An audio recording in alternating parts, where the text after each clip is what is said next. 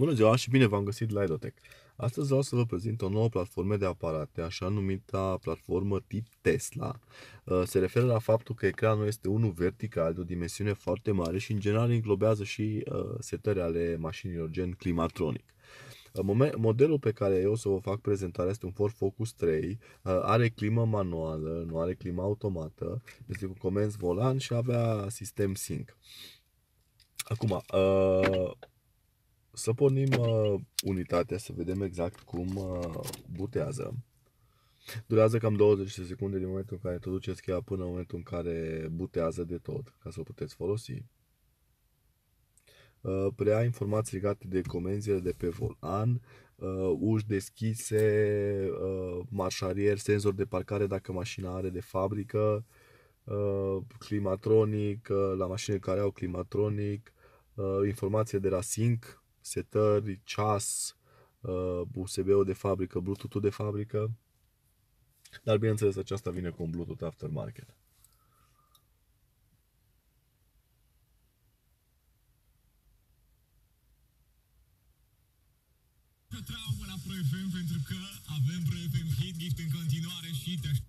Asta este meniul uh, de fabrică pentru, de meniul uh, de radio pentru aparatul aftermarket. După că vedeți uh, frecvența, uh, lista de frecvențe.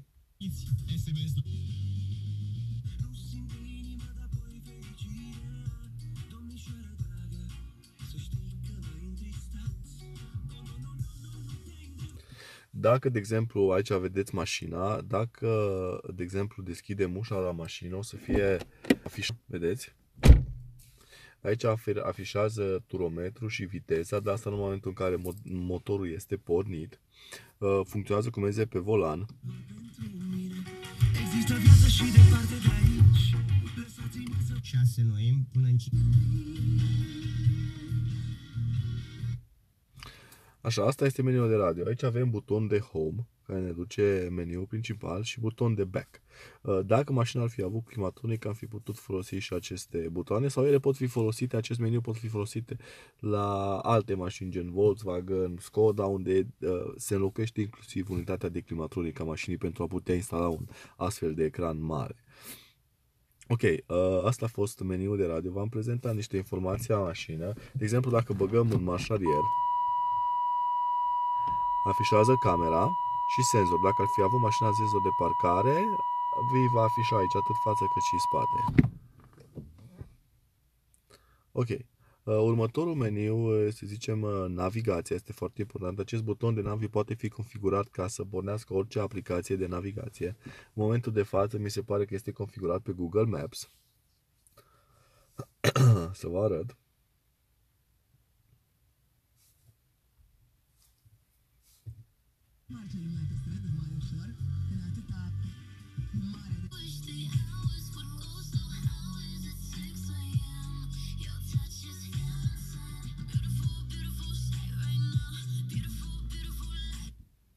Asta e navigația, uh, Google Maps-ul. Putem folosi de, a, de asemenea, să ieșim din el. Așa, putem folosi de asemenea și uh, iGo, care este navigație offline.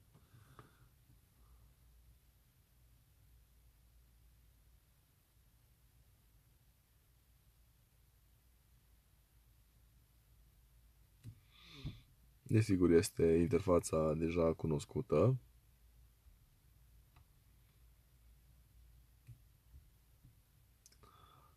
Se pot introduce adrese.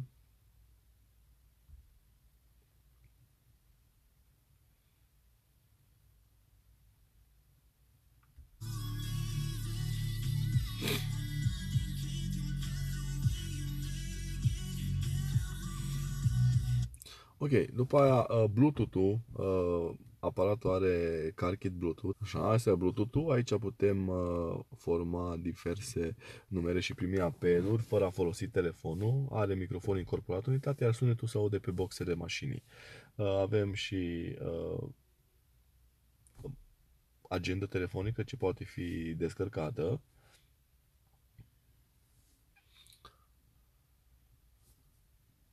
Mă rog, se, se descarcă și va, va, afișa, va afișa. Putem asculta și muzică de pe telefon prin funcția de A2DP și mai sunt uh, setări ale, ale aparatului pentru CarKit. Asta este Bluetooth-ul. Uh, după aia avem funcție de muzică și, uh, să vă arăt, și funcție de video. Pentru video să redăm atât fișiere MP3 cât și videoclipuri.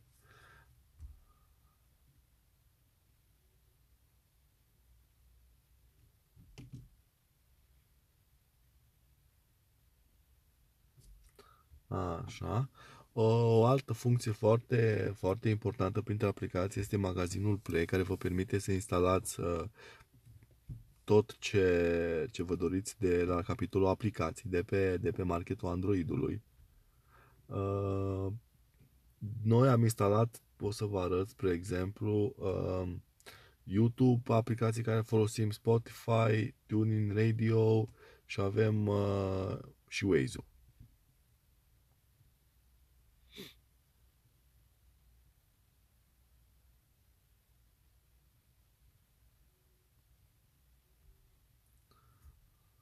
Să-i dăm o adresă.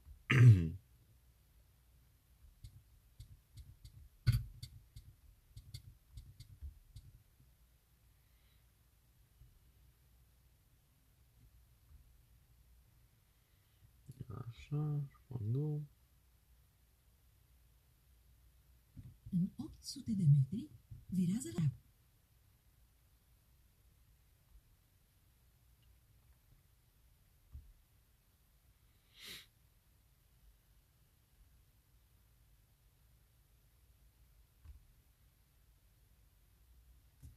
Deci asta este Waze-ul.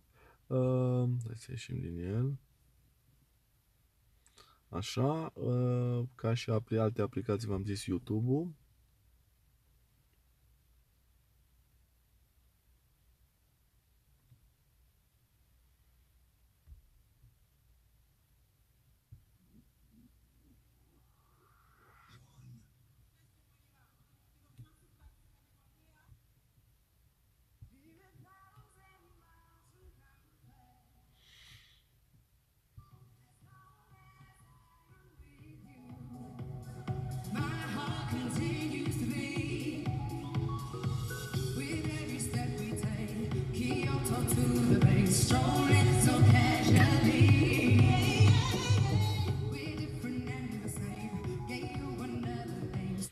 Așa, deci v-am arătat uh, YouTube-ul ca și aplicație.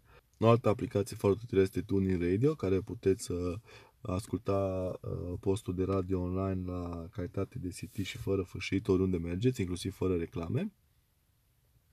E-mail, uh, printre aplicațiile cunoscute, uh, browser de internet, puteți pune cameră de față sau cameră de înregistrare trafic, uh, are ieșire pentru monitoare de tetieră.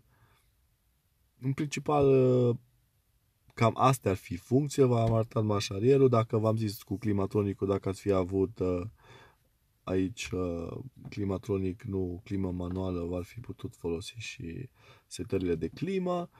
Camera de marșarier, în principal ați văzut ca o unitate cu Android, are toate funcțiile, ecranul acesta mare și, și frumos și vin în, în general configurații între 10 și 16 inch ecranele. Vă mulțumim!